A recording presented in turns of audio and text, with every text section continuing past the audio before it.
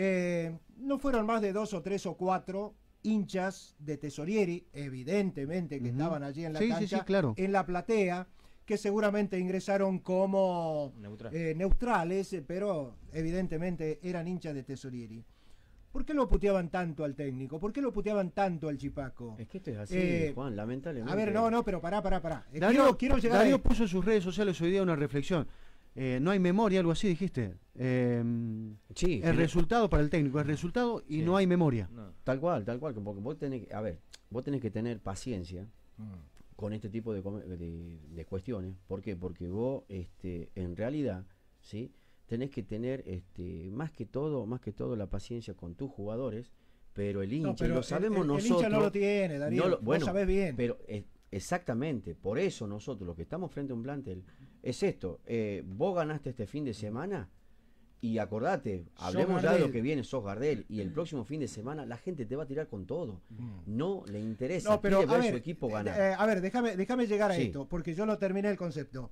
Yo dije, hay algo que me dolió mucho, que era la puteada de ese grupito de hinchas Sí. para con el Chipaco Vega. Hay uno que Ahora, ¿por qué no lo van, no, pero pará, pero ¿por qué no lo van a putear a los dirigentes? Si el Chipaco arma el equipo con lo que le dan, obvio. con lo que tiene. Pero por supuesto. Hoy, hoy por hoy, Tesorieri armó un equipo con dos pesos con 50 Sí. y San Lorenzo Cuando armó un equipo armó- con armó- 10 pesos. armó un equipo con 2 pesos con 50 cuando tiene 20 pesos. 50 pesos, 100 pesos. Está Bueno, bien, vas a Pará, ver pará, el está bien. En el Sí. contexto, sa- Tesorieri también Sí. sabía que San Lorenzo iba a sumar, iba a apostar fuerte. Y Sí. pasa uno solo.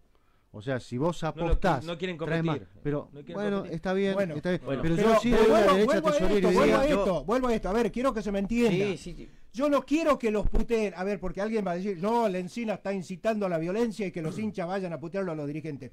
Pero si hay alguien para putear, es al dirigente, porque no le dieron las posibilidades de tener el equipo que el Chipaco quería.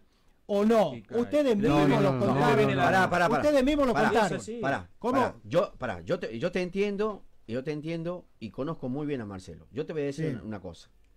Vos, si vos sos técnico, ¿hace cuánto Marcelo es el técnico más ganador creo que de nuestra provincia? Sí, Me parece. En el orden local, sí.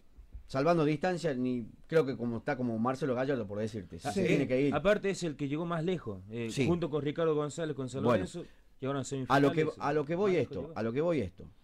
Si vos tanto tiempo vos tenés la institución y vos necesitas, querés como técnico ser protagonista Mm. y no te traen jugadores, hermano, no me traes. Y pero Eh, eso voy, Darío. Bueno, pero a a eso ver, voy, pero el hincha lo termina puteando al No. Bueno, pero, eh, bueno, esa pero- noche lo pero- puteaban. bueno, pero hubo un Pero- consenso, porque es que pasa que el hincha, estos no son hinchas. Esta gente que fue a- porque No, va a putear, claro. estos no son hinchas.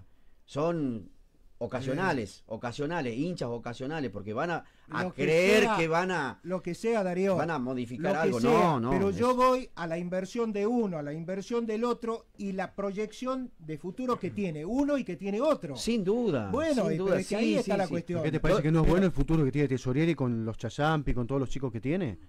Insisto, hay un contexto donde No. Tesorieri sabía que San Lorenzo iba a jugar fuerte, San Lorenzo jugó, te metió medio equipo sobre el cierre del libro de pases.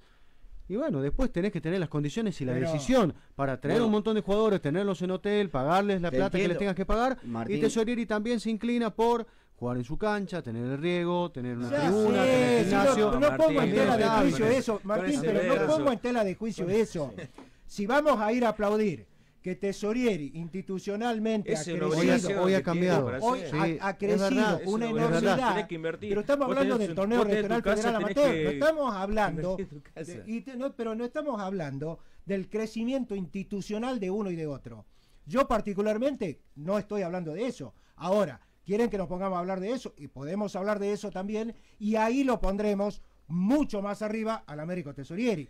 Pero yo estoy hablando del torneo regional federal amateur y lo que quedó demostrado el fin de semana. Si San Lorenzo lograba dos semanas antes meter todo el equipo que trajo, le hace ocho a Tesorieri. Mirá lo que te digo, le hace ocho.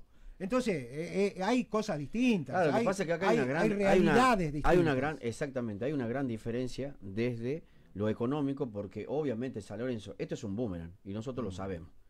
Vos acá, San Lorenzo tiene por historia que ser protagonista, sí o sí. Ahora, el fin de semana que viene, con el Super Clásico, vamos a ver. Nosotros hoy estamos diciendo que San Lorenzo, porque todos podemos coincidir que San Lorenzo tiene un, un paso más adelante con los jugadores que tienen mucho más jerarquía. Ahora, te quiero ver el fin de semana, Totalmente. ¿sí? Esto es aparte, ¿eh? este es un partido aparte. Y cuando no le salgan las cosas a San Eh, Lorenzo, olvídate las puteadas que se van a llevar los jugadores. Seguro. Y la inversión que hiciste. ¿dónde te quedó? No, pero no, No, bueno, está duda. bien, por eso, Pero- eh, esto, por eso te digo, es un boomerang. Hay que tener mucho cuidado con esta situación. Bueno,